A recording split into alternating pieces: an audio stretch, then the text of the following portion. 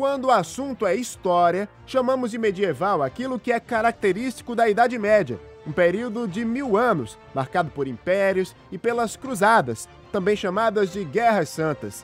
Muitos filmes retratam essa época, exaltando os cavaleiros medievais, cheios de bravura. E nesse espírito, jovens guerreiros da bola defendem uma bandeira branca e preta. União! Que nós somos? Que nós somos? Um, dois!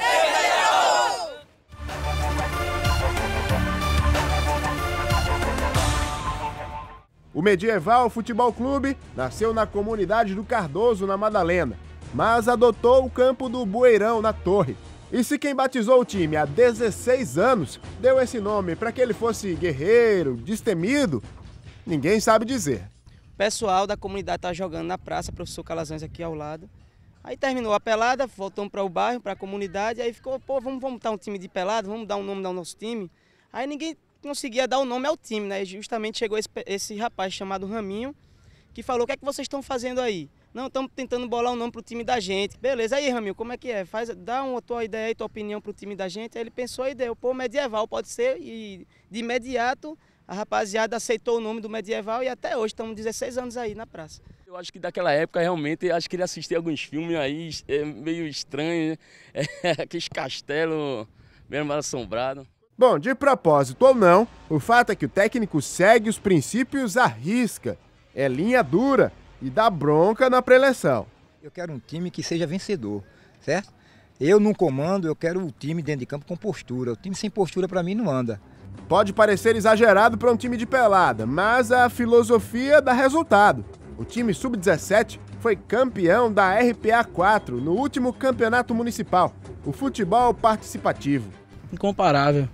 Tem comparação não, a gente ser daqui humilde e sair campeão. O amadorismo parece estar mesmo com os dias contados no medieval. Os jogadores já assinam até contrato. Simbólico, mas assinam. Tem contrato também. Pra acertar, pra jogar só pelo esse time aqui, pelo medieval. Um amigo meu que me trouxe pra cá, aí eu consegui me destacar nos treinos, tudinho. Aí me chamaram pra assinar. O objetivo do Alvinegro da Torre é disputar o Campeonato Pernambucano das categorias de base. Uma oportunidade a mais para esses garotos determinados mostrarem que podem vencer a batalha em busca do sonho de ser jogador. Tentar ser profissional, é, se realizar assim, jogador, ajudar a família. Tô tentando correr atrás aí de achar um clube um empresário que bote a gente para cima.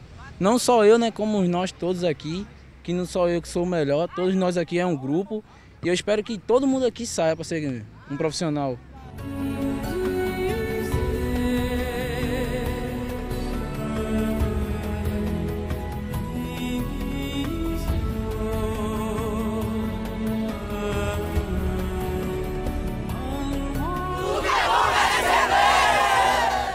Do bairro da Torre, Fábio Mendes para o Anônimos Futebol Clube.